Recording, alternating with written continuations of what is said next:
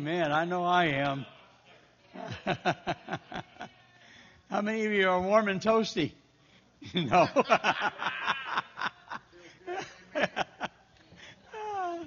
Amen. well, you would have had to be here at a time when we ran the other air conditioners nonstop, and you still sweated like crazy because it could never get it cool. But uh, thank God for small wonders. Amen. All right, we're gonna we're gonna go ahead and start. So let's all stand, and we're gonna go to the Lord in prayer tonight, and uh, just believe more will be coming in as we as we move forward. Amen. Hallelujah. You know, we're really blessed because there, uh, believe it or not, there are a lot of churches who don't have service anymore on Wednesdays. Uh, they they gave up Sunday night and they gave up Wednesday night. Uh, I guess we're just some of the old diehards. we're not going to give it up. Amen. All right, let's pray. Father, we thank you, Lord, for this evening. We thank you, God, for the blessings that you bestow upon us. We thank you, Lord, for your many, many, many, many blessings. And Lord, we literally, Lord, as the old hymn says, count your blessings one by one. Lord, uh, it'd take too long uh, because you just bless us so much. So, Lord, we ask tonight, God, that you would be with us, others that are on their way, uh, traveling mercies for them, Father, those that are watching online. Father, we pray, God, that they'll receive a blessing tonight as well. So, Lord, we surrender this service to you because tonight, God, we want to learn more about hearing your voice and, Lord, following what we hear uh, from the Word of God. So, Lord, we surrender this service to you. Lord, may you be glorified, may you be edified, may you be lifted up. And we're going to give you all the praise and honor in the name of Jesus. And everybody said, Amen. Amen. Before we go into praise and worship, I want to make uh, an announcement. Uh, I'm going to be contacting all the leadership in the church uh, on a one-on-one basis, and we're going to be getting with you and talking to you about what your plans are for next year. Uh, as we get ready to make a few shifts and changes, um, Wendy, uh, everybody sit down just for a minute. I'm sorry. I shouldn't have did that. I got ahead of myself. Wendy had a, a, a word the other night, and it really made me think about something. Nancy and I have been talking about this for quite a while. Wendy, you saw us as a car wash. All right? So I don't know if that meant we are all dirty or what. but uh, one lane was open but we had everything and all the abilities to open up many lanes. So I believe what God is getting ready to do is, I know you look around at the numbers tonight, we may go like, are you kidding me? but God's in control. That's one thing you learn. God's always in control. And I believe what God is doing is helping us get in our lanes. So uh, we'll be contacting each uh, leadership individually, getting with you, talking, sharing and uh, just really see where your heart is for the next year. Uh, because I think we've come to a point now to where uh, we got we need to be committed to what God is calling us to do, uh, and we're excited about what God is in the process of doing. And uh, so, um, when you get a phone call from me, it's nothing bad. It's just that you know we want to get together and talk. All right? Does that sound good? Amen. Now everybody can stand. and let's worship the Lord tonight. Amen.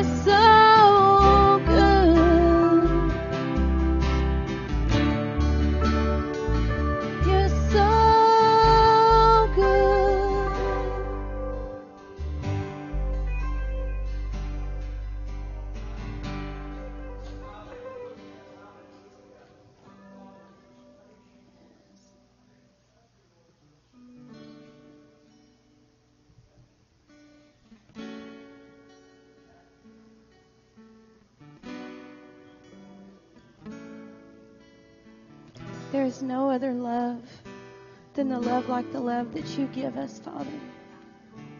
Father, and we want to stand in your love and be in your presence each and every day.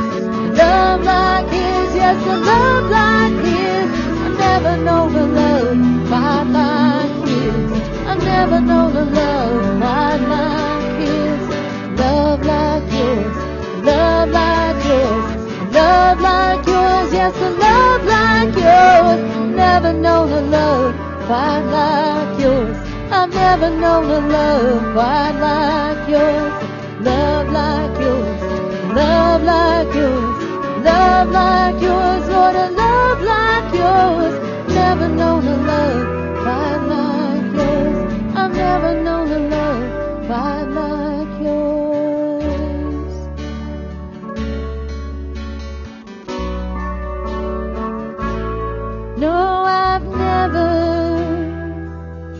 No.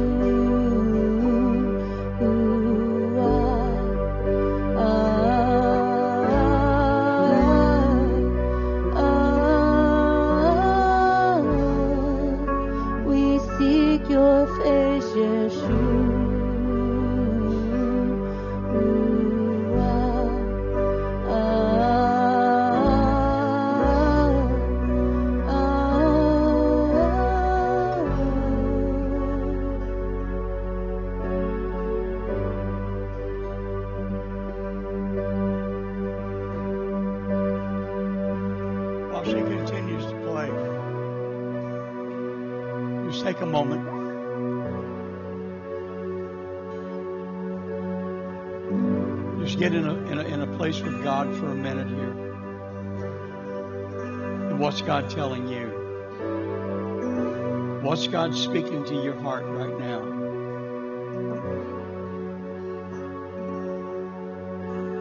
He speaks to us constantly.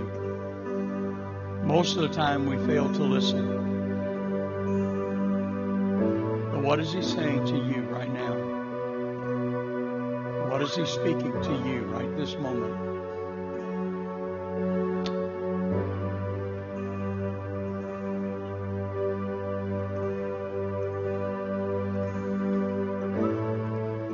Lindsay, what's he saying to you right now?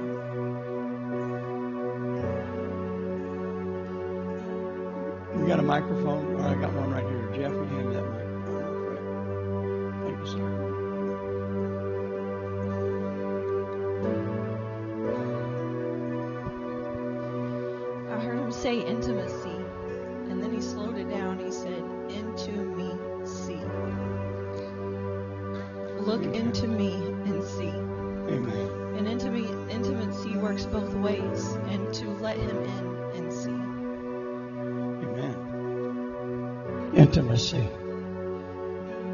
Intimacy.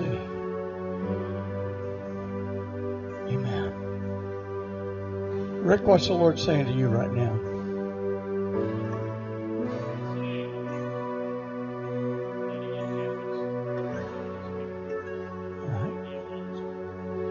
Amen.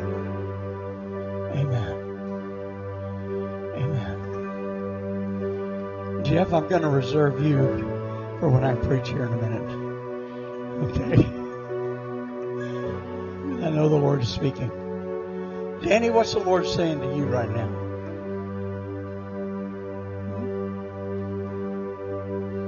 What's He saying to you?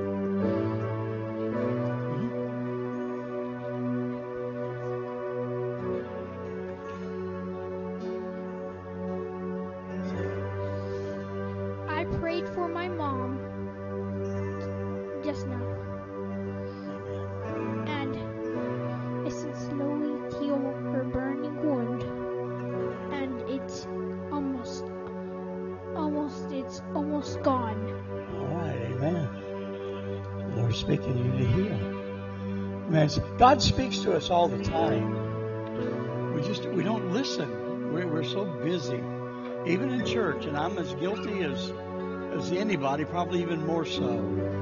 Because it seems like we come, we've got this thing in our mind, we've got to get A, B, C, and D done before we go home, and sometimes then we just don't stop. And God's speaking, and sometimes I think He's screaming at us. And we're just, just move right on. and we don't stop long enough to really hear what God is saying to us. God does hear us. The song we sang right before the Yeshua, I want to know you, I want to know you, Lord. I believe that song fit everybody in this room. We were told we weren't good enough. We didn't measure up enough, uh, and all kinds of things. But aren't you glad His blood was more than enough? and His blood covered everything, and we have eternal salvation. Give the Lord a praise offering. Now, I know the young teenagers and our young children may not agree with me right now, but if I went home right now, I feel like I've not been in church. it's with the presence of the Lord. Amen. Thank you. Thank you, praise team. Thank you for just being led by the Holy Spirit. We really, I really appreciate that more than you'll, well, not more than you know, but more than many people know. Amen. Oh, I'm Kenny. Amen. All right, we'll let our youth and our children be dismissed at this time. And uh, God's been good. Wow, what a pr- sweet presence of the Lord today. Wow. Oh, I got this before. How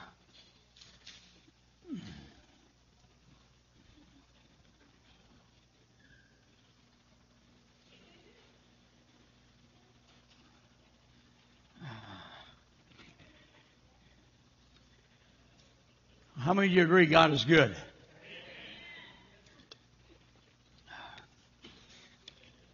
Tonight we're going to share some things, and I believe it'll bless you. You ever been uh, running? Uh, I guess the old saying is uh, 40 to nothing or something, and it seems like you've been doing it for years, and all of a sudden your body one day wakes up and says, "Stop, enough." And well, today my body said, "Stop, enough." Uh, it seemed like all of a sudden all the all the years just kind of caught up to me. I just got so I got so tired today, and this is not my norm. I took a nap, and that's not me. All right, at all. Uh, but boy, my body just said, "Woo, slow it down, buddy." And um, but anyhow, God's been so good to us. I'm glad you're here tonight to worship the Lord. I tell you, I just can't get over praise and worship. It was just so intimate. It was just beautiful. Was just uh, incredible, incredible. We're so blessed with our praise and worship team. Uh,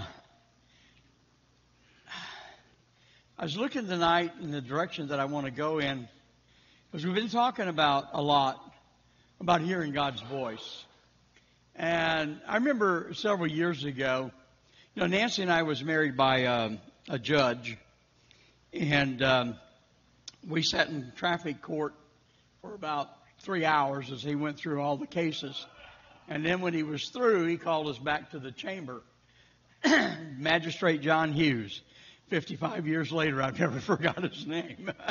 and uh, so we went in the back uh, chambers and uh, he married us. And uh, I don't even know why I started telling you that story for.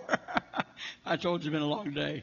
But uh, anyhow, when we when we made our commitment one to another, we knew that it was a, a lifetime commitment.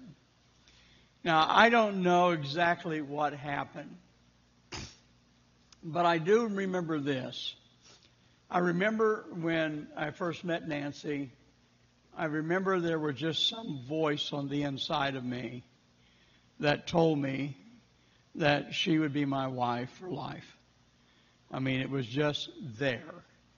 Uh, can I tell you that was the voice of God? Well, after all these years, I believe it was, okay, because it's proven to be true. Um, but it was just something. God speaks to us so oftentimes, and we just don't pause long enough to listen to Him. Because we didn't have um, a regular wedding, we went to Bible college, and one year, I don't know, I think it was our second term of Bible college in, in Tennessee, uh, they were having a class on business. And in the business class, they were teaching young ministers all the protocol for funerals and weddings and, you know, dedications and uh, just all business that's done in church. So they wanted to do a wedding. And uh, so they asked Nancy and I, would we like to get married again? all right?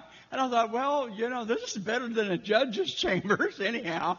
And so, so they laid out a wedding for us, and uh, we you know, went down the aisle and they did the whole nine yards. So we felt like, well, at least we had some kind of a church wedding, all right, kind of a semblance of one.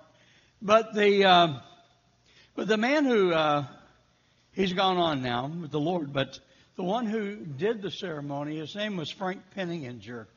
He was from uh, Arkansas. And he was sharing his testimony with us, and I've never forgot his testimony. Now, this has been a long time, but never forgot it. He said he was out and he was cutting wood, and he was out, you know, in the jungle area, well, not jungle, but in the forest area, and he was cutting wood.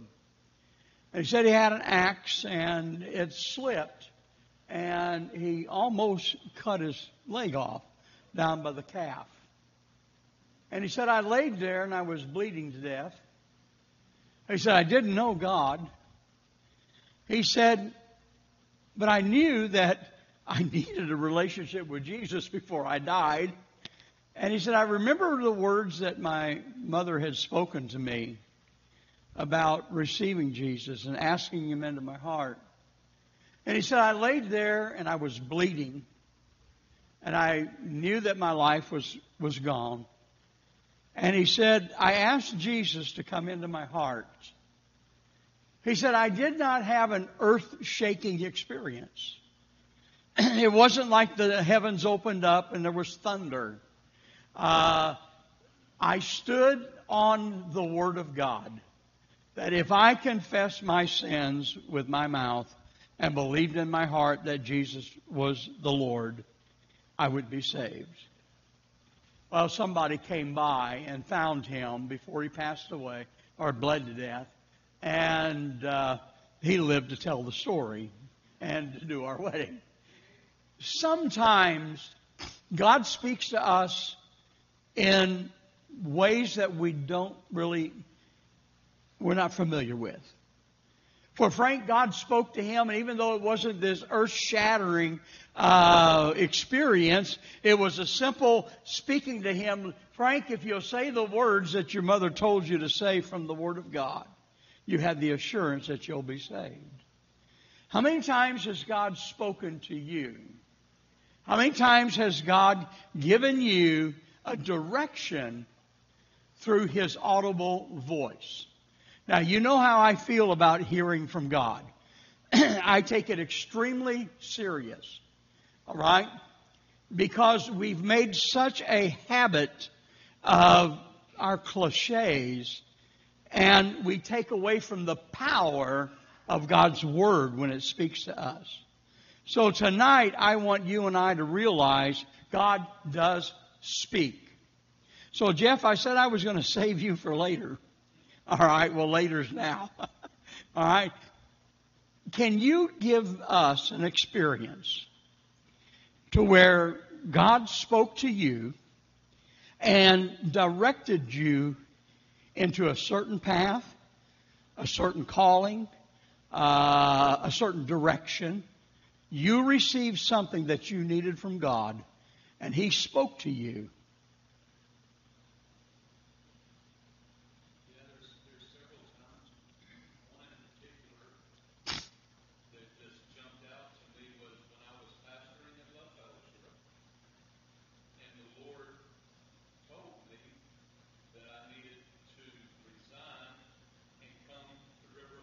Okay.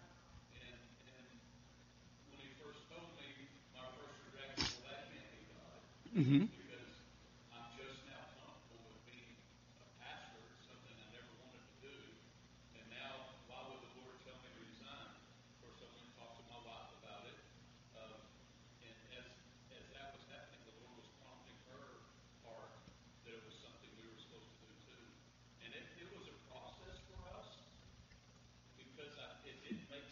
Mm-hmm. but but but it's something that I knew in my heart, and, and he would he, he it wasn't just that one prompting. He did it again. He did it again to a point to where I just knew it was his voice. You knew. And then I started to ask him directions to how to do knew. Okay. That's good. God speaks to us all the time.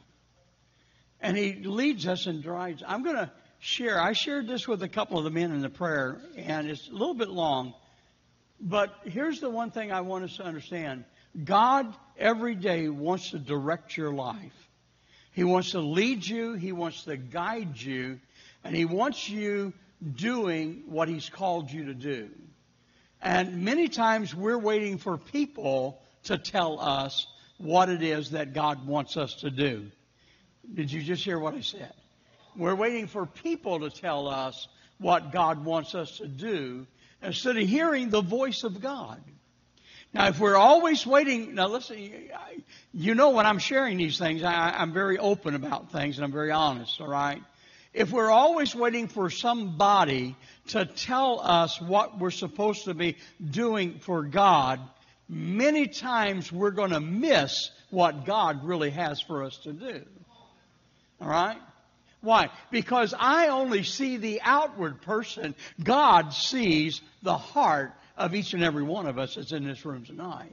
So God knows what He's put in your heart, and He knows what He wants you to do with that which He's put inside of you. I only see the outward person sometimes uh, through discernment and through revelation. God allows me as a leader to many times be able to see something that's in your heart but a lot of times I've watched people be totally directed the wrong way. I had a young man come to me not long ago, well, before we came back here, uh, maybe a year or so, and he come to me one day and he said, Pastor Paul, he said, uh, uh, I believe I'm supposed to be a missionary. and I said, okay. He said, Yeah, I'm getting ready to leave my job. I'm going to sell my house and I'm going to pack up everything. And me and my family, we're going to move and we're going to move to the Philippines. Well, I said, I'm very familiar with the Philippines, so uh, tell me a little bit more. He said, I know we're supposed to go. I said, well, what if I call a friend of mine in the Philippines who was our director at that time? And how about if we make an arrangement for you to go over there for about two or three weeks and really kind of understand where you're going, what you're getting yourself into, uh, and the customs and everything, uh, and then make your decision and pray and ask God to confirm it. Well, he went, and uh, when he got back, he called me. And he said, Pastor, thank you so much because I know that my family could never, ever live in the Philippines, all right? And it was not God that was speaking to us. It was everybody else telling me. well, isn't it great that he found out before he sold his house and packed up his family and quit his job? Well, I got a phone call from him probably six months later, nine months later, and he said, Hey, I just wanted to touch base with you. And I said, uh, where, where are you at? What are you doing now? He said, Well, I'm a praise and worship leader in a church up in Spokane, Washington, and I am in the absolute perfect will of God. Amen. That was a long way from the Philippines, I promise you. God is always speaking to us. So I shared this, and I'm going to share it again because it's an example. Then we'll get right into the scriptures. It's an example of how God leads us if we're really wanting to be led by God. Now, sometimes, Jeremy, we say we want to be led by God, but when reality sets in, we're really not sure we want to be led by God. And what I mean by that is we might be afraid of the answer that we get. I've told you many times when I first started in ministry, uh, we lived in a little uh, two bedroom. Uh, uh, uh, there was four flats, two and four. We lived in one downstairs and had a closet. And uh, so when I got ready to pray, I'd go in the closet and I'd close the door. And I'd just pray and I'd pray and I'd pray and I'd pray so hard until I knew the answer was on its way. And I'd get up and I'd quit praying. And I'd go out of the closet. And I'd go back in and I'd, later on, I'd pray again at another time. And the, the answer was coming and I'd get up and I'd leave. Why? Because I didn't know if I wanted to hear the answer. because I didn't know what it might require of me. And sometimes if we're honest with ourselves, we don't know what is required of us and sometimes we're reluctant to really press through and get the answer from God. I needed direction several years ago. So I was praying one day, and uh, I asked the Lord what was He leading us into, and the Lord began to really, really begin to download into my my spirit. And while I was praying, I began to write. I don't know. Now I'm not a journaler. All right. I know Rick is but he's backslid. He don't journal as much as he used to. All right. So Rick, you need to start journaling more. All right. Uh, I, I'm not good at journaling. Okay. Uh, never have been. Uh, but you know, you know, I found out one day that's how preachers write all their books.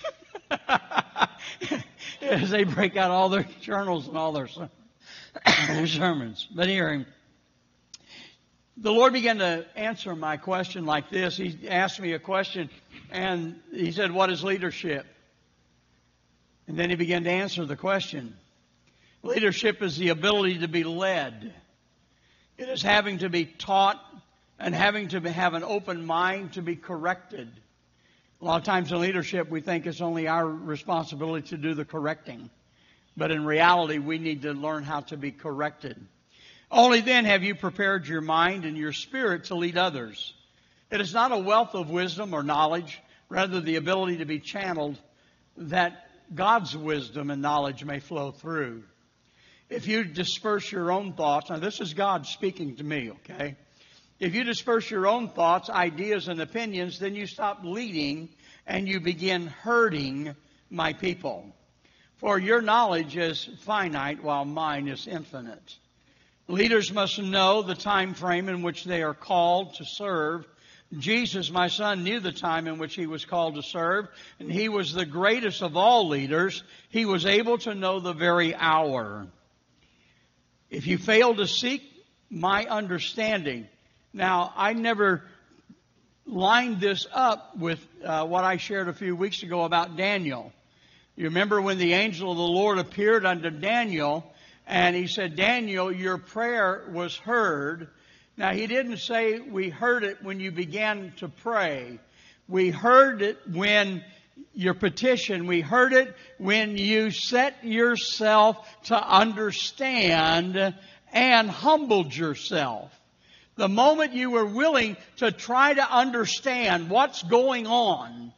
You know that can be the greatest prayer that you pray sometimes? Lord, what is going on in my home, in my life, in my job, in our community, in the nation? What's going on? I need to understand. God said, uh, the angel said, I, I heard your prayer the very moment that you set your heart to understand. If you fail to seek my understanding, you will become a leader out of season, either ahead or falling behind, running to and fro, spinning your wheels, but never accomplishing anything of great value. To know the hour that you have been called to, knowing the point of time that you are serving in, gives you a clear direction in what way you're to go. Open your eyes to what is going on around you, in your family, your church, your community, and nations which I have called you to as a leader of my people. You must realize the time that I have placed you in. Distrust in leadership abounds, not only in the secular world, but even in my body. Will you be a leader that will help establish, reestablish trust and true leadership? Do not seek glory, for all glory belongs to me. Now, this was about 26 years ago when God spoke this to me. But this has been a guideline for me for all of my ministry up to even to this moment, okay? I was young and I needed direction. I needed to hear God speak to me and say, Paul, this is what I'm telling you. This is what I'm calling you to. This is the direction that I want you to go in. Do not seek glory, for all glory belongs to me. Do not seek the praise of others, for I alone am worthy to be praised. If you'll seek my face, I will give you direction. It will not always be a complete picture. For if I do that, then you will not fully place your faith in me. Did you hear what God told me? He said, if you want a clear picture, then you don't need faith. All right? I'm going to give you just enough to get your right foot one step forward, and the rest of it you're going to walk it out by faith. Rather, I will always give you enough that you will not be given to discouragement, nor will you stumble not knowing what to do. First, above all, Paul, I want you to worship me. And it's also cool when God refers to you in your first name. All right. It just makes you feel kind of good. All right. Um, I want you to worship me. Place me first in your life. Seek me diligently with all your heart, and I will speak clearly unto you. You have been called into my service, and you have known it all of your life. I have had to chastise you several times, but it was to keep you from going too far away from me. Now your service will begin to come into focus. Service is what I truly mean when you are a servant. You have been called not only prophet by men of God that I have sent your way, but you know that you are to be a builder of my house. Now this is where I got confused, okay? You ever get confused? Alright. Because he told me I was not to be a builder of my house. He said not physical. Well, I didn't get that part. All right. Uh, but you are to rebuild the broken vessels, those houses of clay that my son died for. Rebuild them, help them to see my love for them. Don't run from them. Yes, many are wounded, and as you have seen a wounded animal trapped in a corner, how violent they can be, so are these. Do not mistake that violence you see with your eyes as a sign of them not wanting help, for that or that they are some form of reprobate. Inside is a wounded person needing help. Now, what better advice can a young preacher have than God to speak to us or speak to me in that way guiding me, leading me, and literally setting a pattern for my pastoral ministry and the ministry that God would put in my charge. See, I don't believe God wants us to go through this world, Jeremy, just hit and miss. I believe He has something for each of us, and He is directing our life, and He's speaking to us. Inside is that wounded person needing help. I will give you discernment as you have never had, but it will come only as you need it. Isn't that awesome? Because he didn't want me to wear a name tag. All right, I have the gift of. He said, I'll give it to you as you have need of it, lest you get haughty and puffed up. Paul, I love you, and I have called you into my service, but I know that you can sometimes cross over into the flesh. Now, isn't that the heart of a father that is willing to correct, that is willing to speak openly and frankly to us through the Holy Spirit? God knows me, and He knew some of my tendencies, and He knew what I was seeking after. So He spoke to me in that manner. So I will release the gifts into your life as I see the need. Always know that I will never forsake you. I will be there when you need me. Continue in the direction you're going. Do not worry. Place your trust in me completely. You and the local church of believers will grow in grace and wisdom. Know that you will go through trials and battles, but I have given you the land where you stand and wheresoever you goeth. Isn't that awesome to know that God spoke and said, you're going to go through some stuff, but don't worry about it because I've given you that land and you possess that land. So be bold, basically, and be, uh, I, I've given you the land where you stand. Even as Israel, when you look to me, you will have victory. When you begin to lose ground, stop looking, you have stopped looking to me do not see this as punishment, but rather that I am regaining your attention. So I'm standing here tonight and telling you very openly that God is telling me, Paul, I'm going to regain your attention. Keep looking to me and you are, and the house is going to be blessed if you keep looking to me because I needed to get your attention again. Tell my people of my great love for them and that I send my, will send my son back for them, but there is much work to be done. So be about your father's business, saith the Lord. Now that's what God spoke to me several years ago when I began to pastor River of Life Church. we were seeking God's goal and His direction. Didn't know what way to go. I only knew one way. I knew Church of God way. That's the only way I knew. That's how I had been raised. That's how I had been taught. All my mentors were in that organization. Uh, everyone I grew up with was in that organization. All of them, most of the young guys my age, they went out to pastor in that organization. So that's all I knew, Jeff, was that group. That's all I knew. And God was saying, that's not what I want you to do now. I don't want you to go that same direction. So I was asking God, Lord, what direction do I go? I don't know which way to go. I only know one way. And if that was the right way, then you wouldn't have led me out of that way, alright? I'd have still been there, okay? But God was leading us into another direction. So when I began to pray and seek God, that was his response to me. So God spoke to me. Now that was a little bit lengthy. But I know that for each of you that are here tonight, God has spoken to you in some manner and some form. God has directed you and guided your life in, in a way that He wants it to go. Our lives aren't just a bunch of circumstances thrown together. Our lives have a divine plan.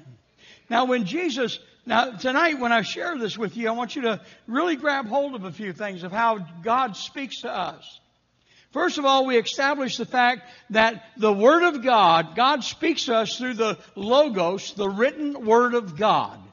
But it is the Holy Spirit that causes this logos word to become a rhema word, a now word that jumps and comes alive in our heart. That's what happens when you read a scripture and John, for the very first time, you've read the scripture a thousand times and all of a sudden one night you read it, you go like, oh my God, I never saw that before.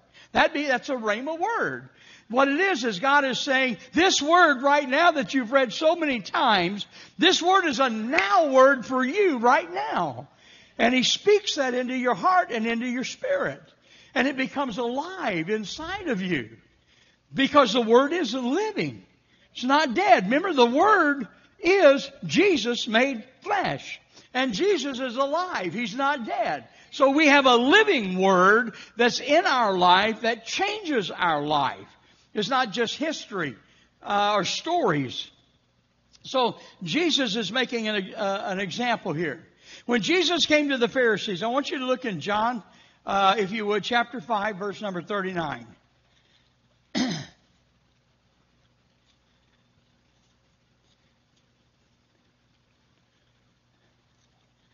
I'll get there. Verse number 39. Powerful scripture.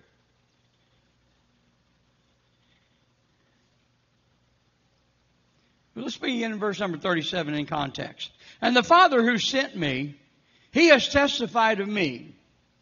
You have neither heard his voice at any time nor seen his form. You do not have his word abiding in you.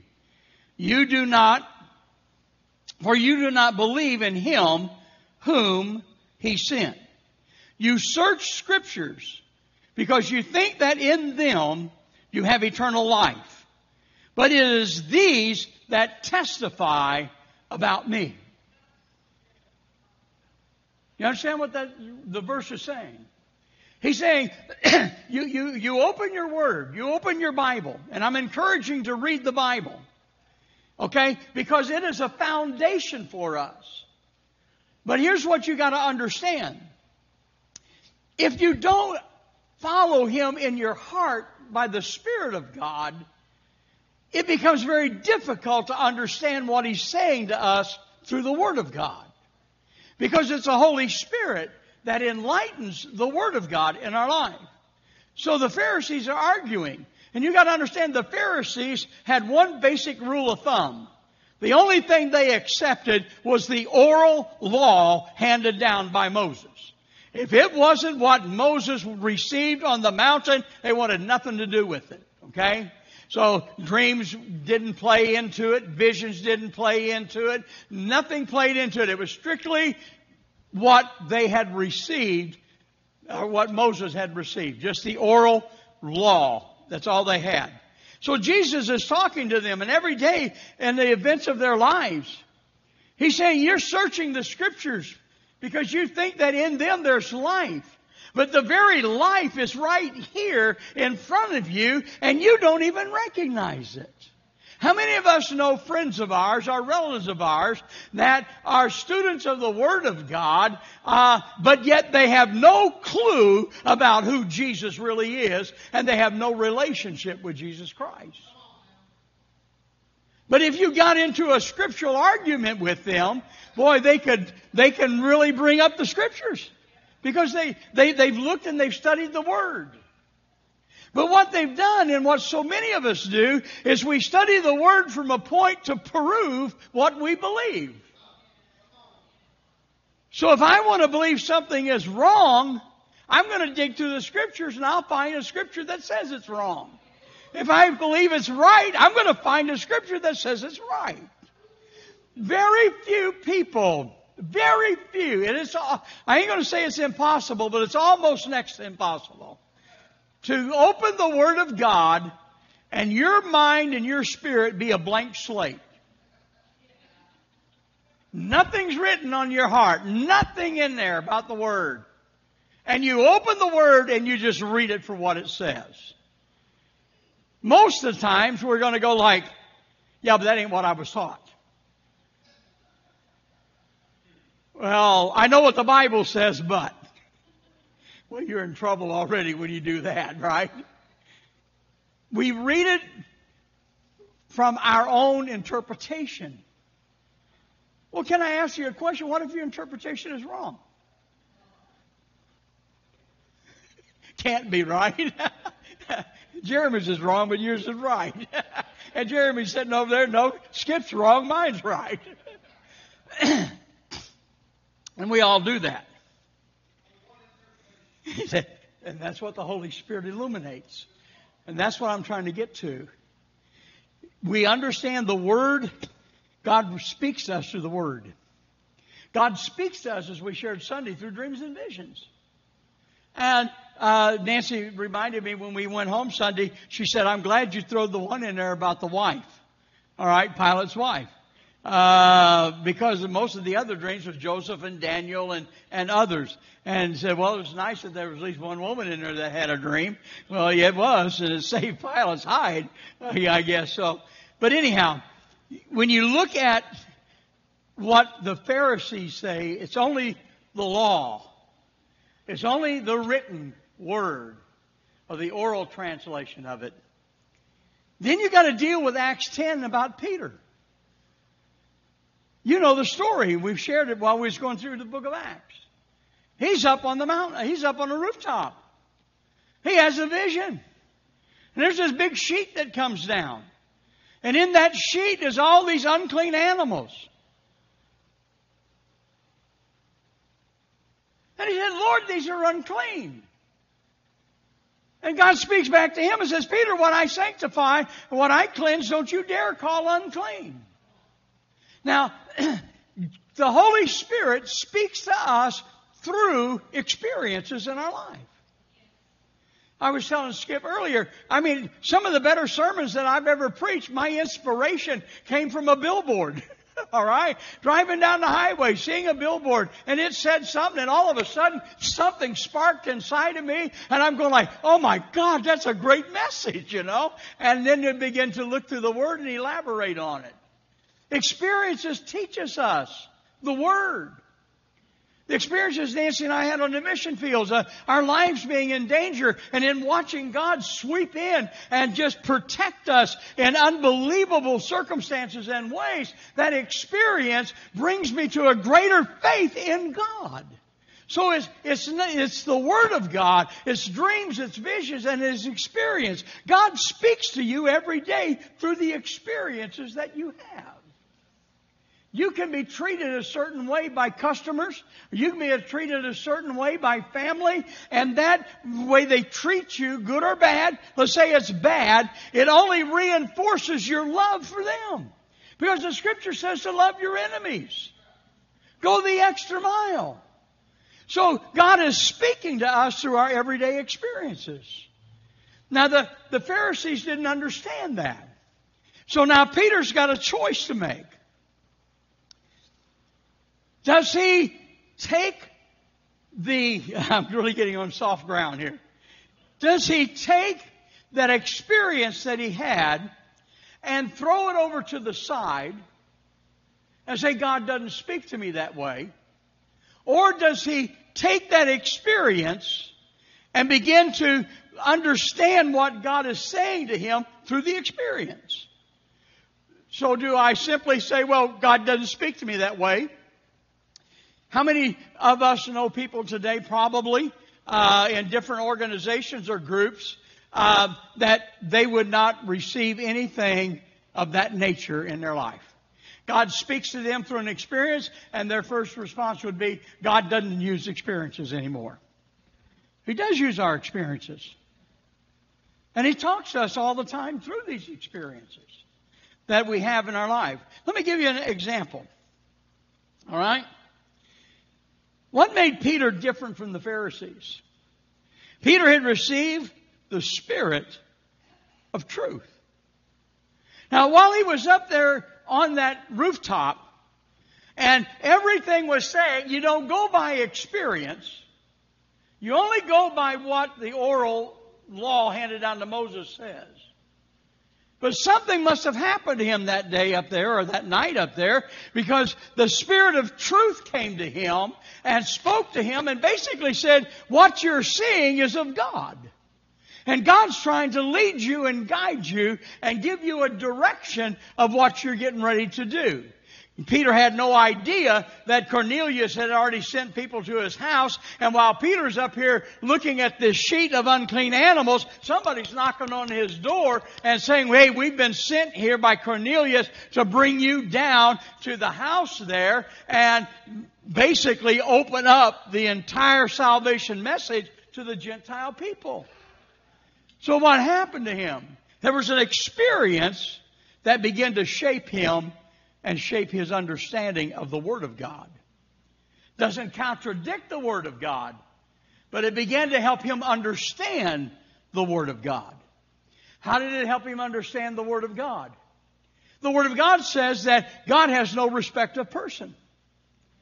The Word of God says that Jesus, whosoever will call upon the name of Jesus, shall be saved.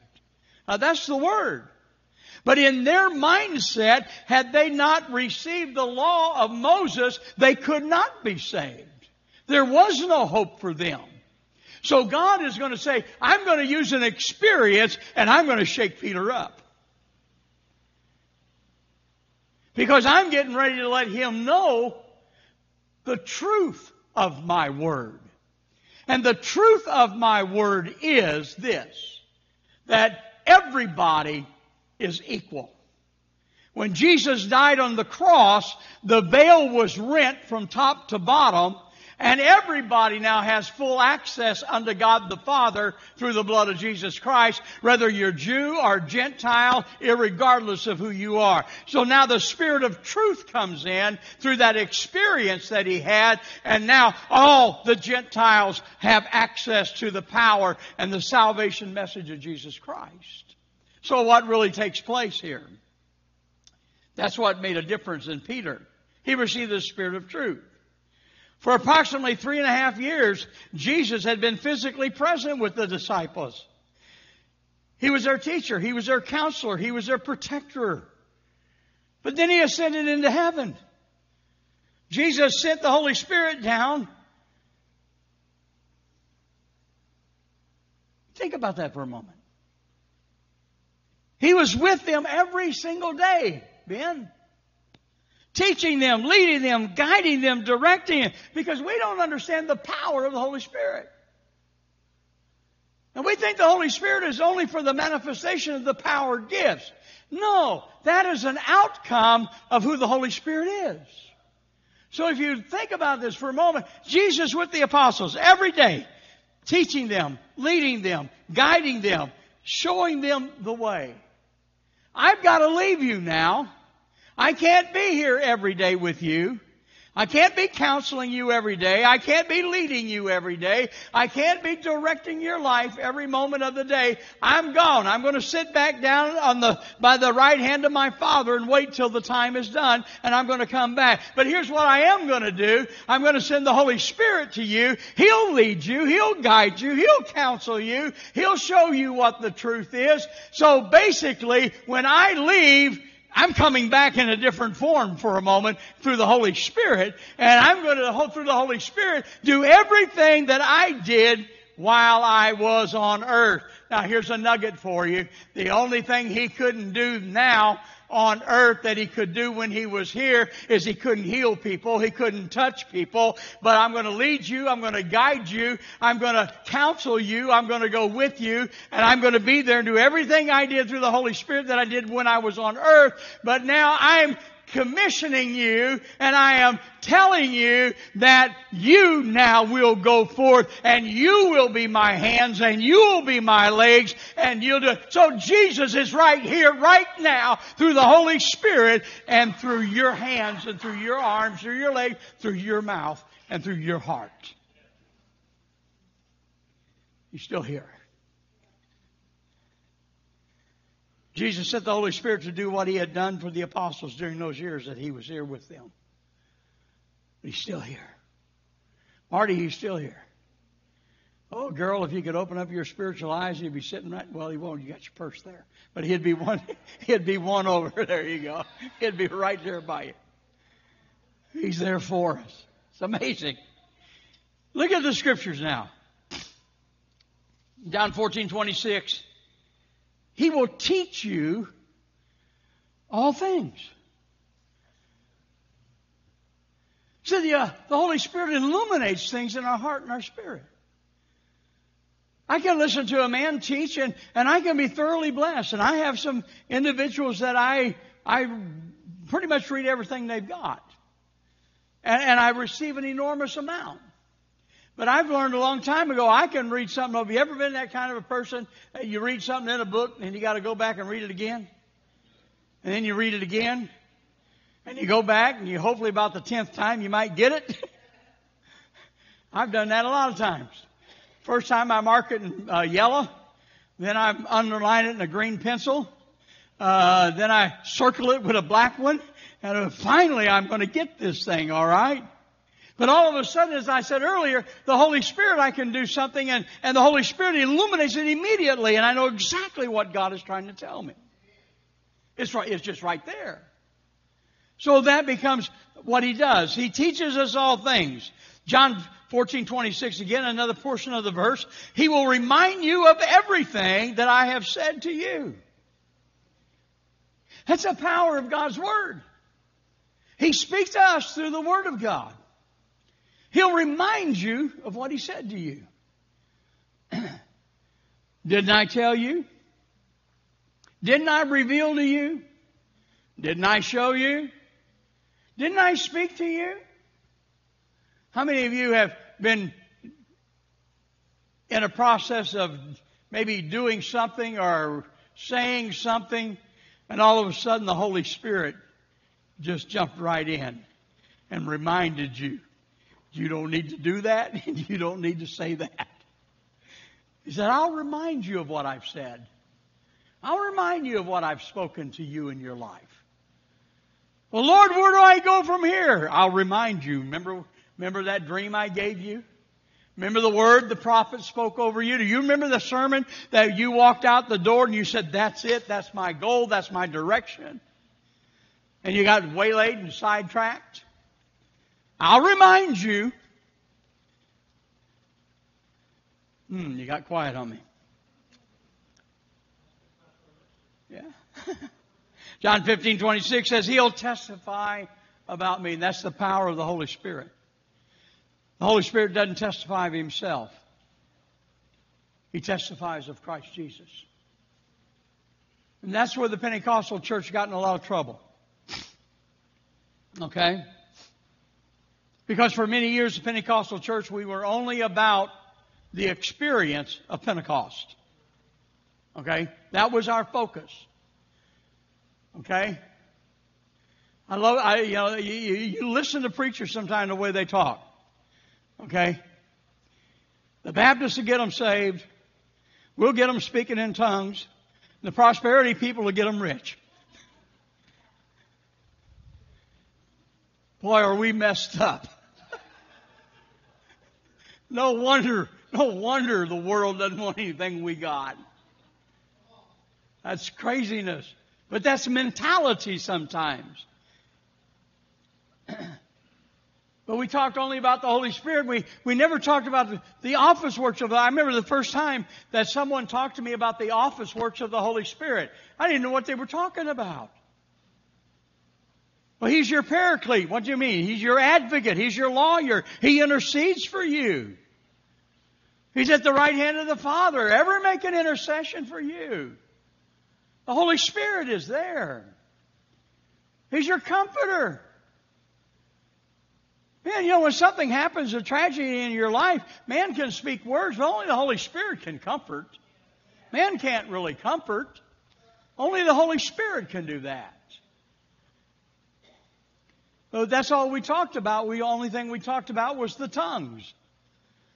And the, the criticism was the scripture says that the Holy Spirit will testify not of himself, but of, of, of Christ. And all you talk about is the tongue part.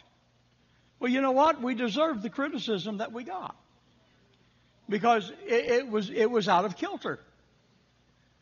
So now we go back and we realize that the Holy Spirit is there for us and it counsels us, it leads us, it guides us, it directs us, it shows us things that are yet to come, but it's all to bring honor and glory unto the Lordship of Jesus Christ. It's not about me to run around the pul- run around the pulpit and all that. That's okay. That's great. I have no trouble with that. You should have saw me when I was a young teenager on fire. And we had a church flag and I, I love it and I respected it. But listen, man, when, when the Spirit got moving, I was first one to grab that flag. And man, I'm getting ready to do Jericho marches all around the church and all around the building on the, on the outside. And man, I'm going to town with this thing. All right? But it was more than that. And it took me a while to learn that. I'm thankful for what I was taught. But I'm thankful that God spoke more to me. John 16, 13, and he will guide you into all truth. Well, how do I know what is right? How do I know what is wrong? Spend time in the Word, spend time in prayer, and seek the face of God and be open to the voice of the Holy Spirit. He'll tell you what is wrong. You don't need to listen to me. I, am not going to talk myself out of a job here. You don't need me to tell you all the time what's right and what's wrong. Because now you're listening to man. And that's going to get you in trouble. But if the Holy Spirit tells you something, and you've sought God, and God tells you that's not truth, you'll know it in your heart. Do you know why we have so much confusion in the church today? It's because everybody listens to man. We listen to man. We, we look at confusion in the church today and, and you go like, well, where'd that come from? Well, I heard this preacher tell me this. Well, I heard, I heard this guy uh, preaching about that, and that if we believed this way, we were wrong. Listen, there's only one way to heaven, and that's through Jesus Christ. I learned a long time ago on the mission fields that, listen, I don't care if you're a Methodist. Uh, I don't care if you're a Presbyterian. I don't care if you're Episcopal. I don't care if you're Baptist, Lutheran. I, it, none of that makes any difference to me. The only thing I care about is do you believe in the blood of Jesus Christ and Jesus is the only way to heaven. And if you and I can meet at the foot of the cross of Calvary, we can join hands to work together to build the kingdom of God. Amen? That's all that matters. Well, I don't believe in speaking in tongues. Well, then don't speak in tongues. That's up to you. Now, I can't, for me personally, I can't imagine my Christian experience apart from that. Because it's too much a part of who, who I am and how I see it in the Word of God. But I'm not going to let that fight get me and you out of heaven. I believe in miracles. Well, how come you believe in miracles? Have you ever seen them? Oh, God, yes. I've seen them by the dozens.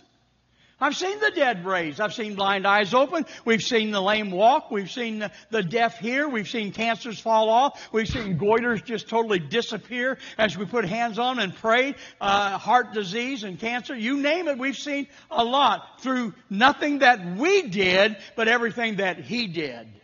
Jesus Christ. Well, I don't believe in miracles. Okay. Then you're just going to have to live a life apart from miracles. But if you believe in Jesus Christ and you believe He died for you on the cross, I'll stroll over heaven with you one day. Okay? Am I being plain enough? That's not an issue of salvation. But I want you to be able to live in the power of the miraculous of God.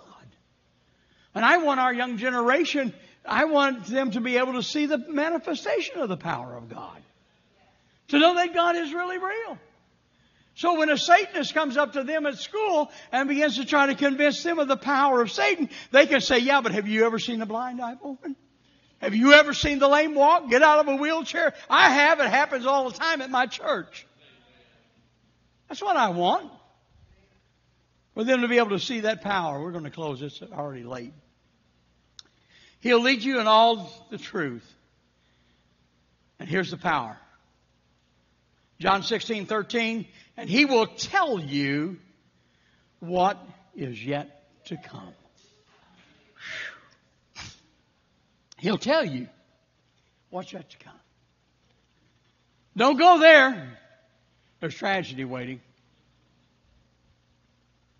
Don't do this.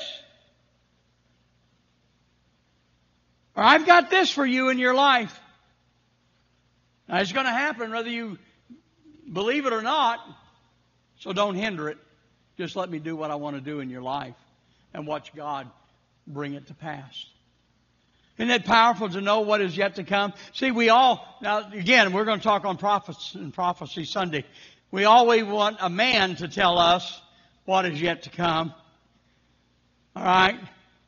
The world uses astrology They use tarot cards. They use mediums. And sometimes, if we're not careful, we want the same results through the prophet. Did you hear what I just said? We want the same results through the prophets. We want them to tell us what our future holds. Well, I have respect for the prophets, but I would much rather be in a point of prayer and the Holy Spirit come down and the Holy Spirit begin to tell me what is yet to come in my life.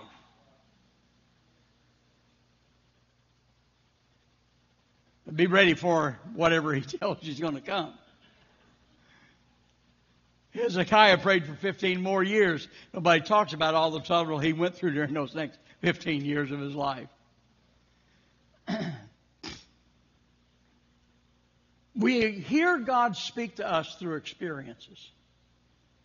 He's always talking to us. Tonight, when you go home, I want you to, in the next day or two, just sit down for a moment. Take a pencil and write down. You know, that you may not remember the date, but I remember when God spoke to me. And I remember what He told me. Because, see, sometimes God has told you that you're literally, now the Word tells you that your family will be saved. But I've known people who have come to me and said, The Holy Spirit spoke to me and said that my, my husband's going to be saved or my wife's going to be saved.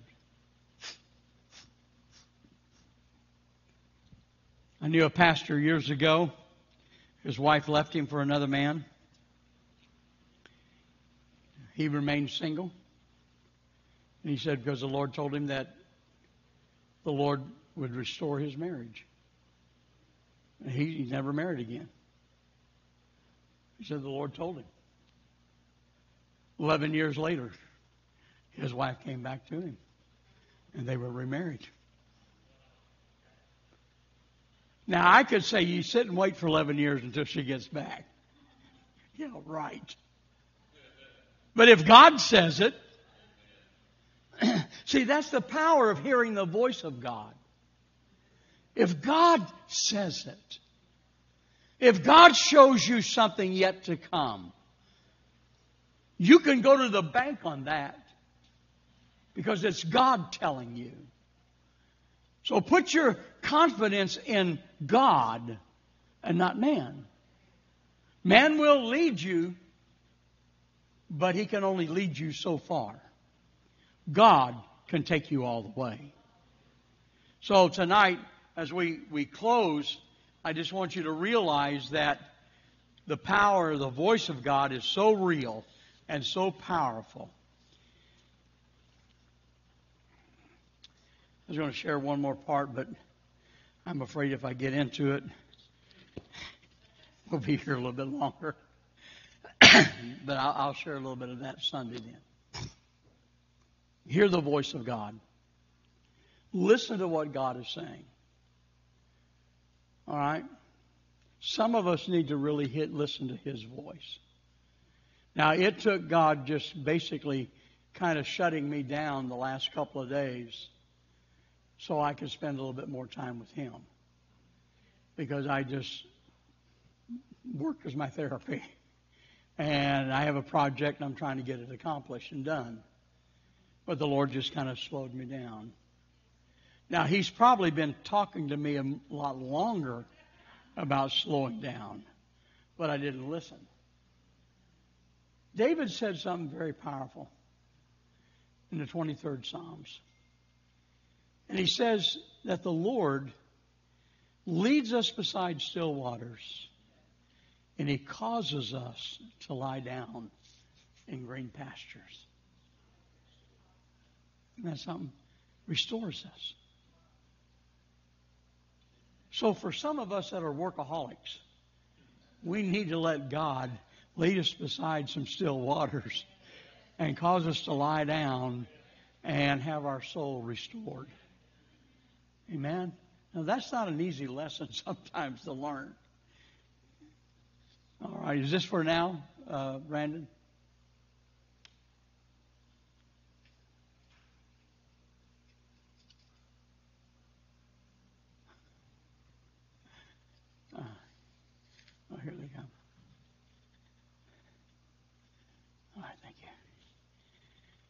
Okay.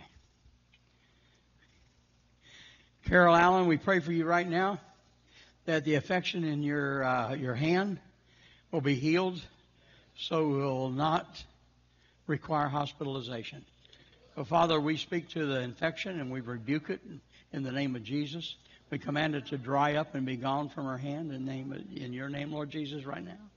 Father, I thank you, God, for the power of the cross. I thank you for the power of healing. Thank you for the power of your name. And I thank you, Lord, for your Holy Spirit. And your Holy Spirit is there with Carol right now. And Lord, we give you praise, honor, and glory for the healing of her physical body in Jesus' name.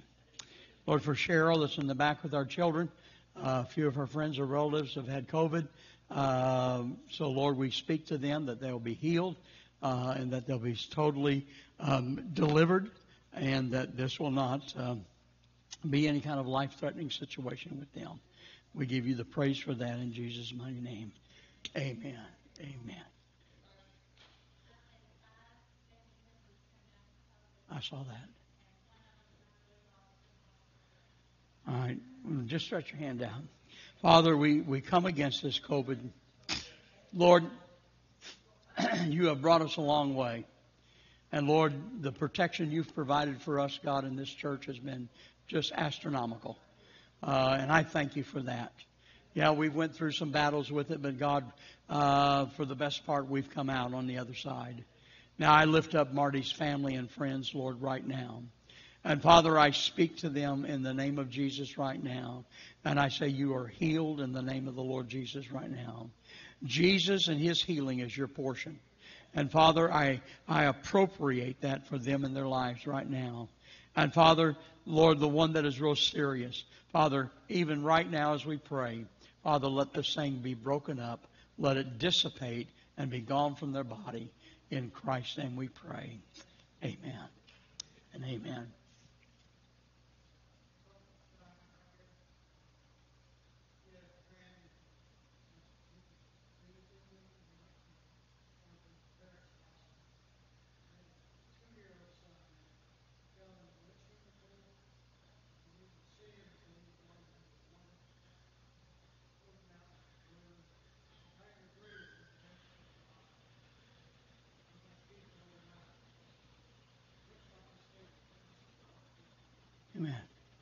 Have seen the miracles of where that's happened and God has just really brought them through it? Amen.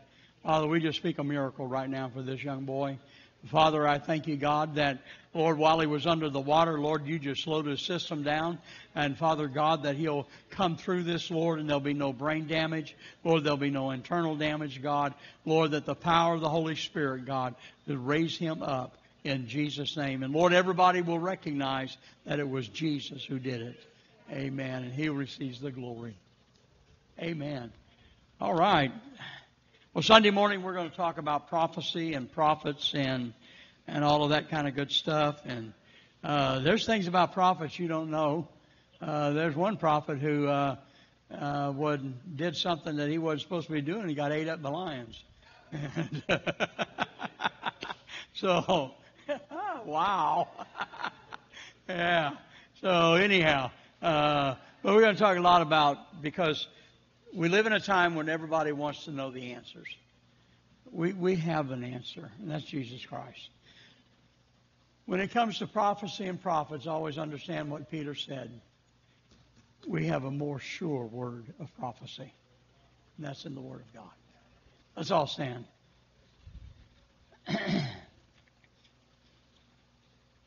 Amen. Amen. Well, we decree. Kemp, Kaufman, Lake area. The world shall be saved. Amen.